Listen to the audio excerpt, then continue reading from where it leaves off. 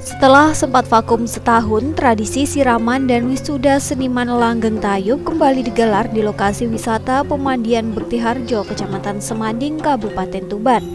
Berbeda dengan konsep sebelumnya, pelaksanaan wisuda dan siraman dipisah sehingga menghilangkan kesan sakral dari ritual tahunan tersebut.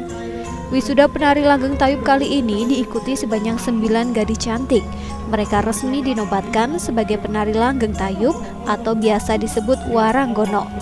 Selanjutnya mereka berhak mengisi pagelaran seni tradisional secara terbuka di tengah kehidupan masyarakat.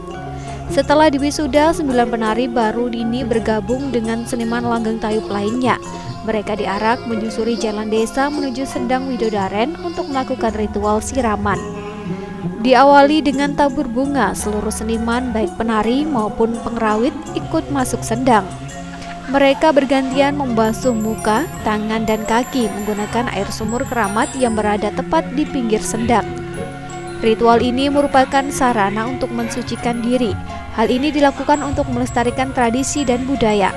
Diharapkan ke depan seniman tradisional sukses dan mendapat banyak tawaran pentas biar semakin sukses semakin tenar gitu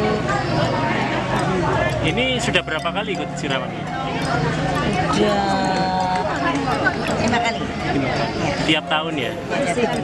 Sudah disindir sudah berapa tahun? Sudah ada 15 tahun. Siraman ini diikuti sebanyak 85 penari langgeng tayub, 45 pengrawit, dan 45 pramugari atau pembawa acara.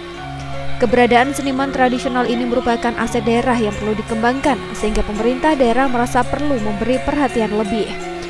Adalah uh, kita akan punya potensi budaya yaitu Maranggono yang sudah terkenal di uh, provinsi maupun nasional karena ini sudah kita kirim ke Jakarta juga ke Taman Mini dan ini untuk me memberikan bekal kaitannya dengan dasar baik itu tentang apa pendidikan Maranggono termasuk juga bagaimana adab sopan santonya Maranggono sehingga dengan wisuda ini diharapkan nanti uh, dia sudah siap untuk uh, melaksanakan kegiatannya yaitu kaitannya dengan hiburan-hiburan uh, di masyarakat. Kesenian Langgeng Tayub merupakan salah satu aset budaya lokal Kabupaten Tuban.